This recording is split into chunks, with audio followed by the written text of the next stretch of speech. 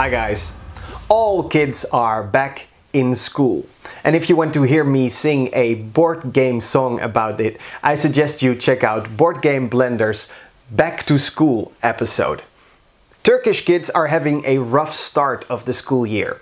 You have probably heard about that failed coup in Turkey last July. The Turkish President Erdogan believes that the mastermind behind this coup is the Turkish preacher Fethullah Gulen. All over Europe, there are schools that follow the beliefs of this man.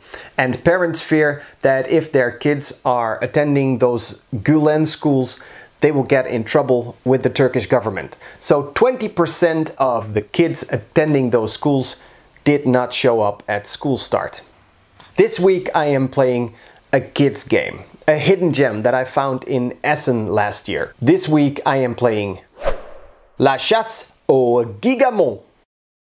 In La Chasse aux Gigamon, or just Gigamons, players play a variant of memory. There is a 3x3 grid of small monsters called Elemons. Uh, you flip over two and if they match you collect them and you get to do a bonus action. Sometimes you get to go again depending on which ones you matched and sometimes you get to swap out one of your collected tiles with somebody else's. If you have three Elemons that are the same, you get to invoke the big brother, the Gigamon. The first player who receives three of those Gigamons wins the game.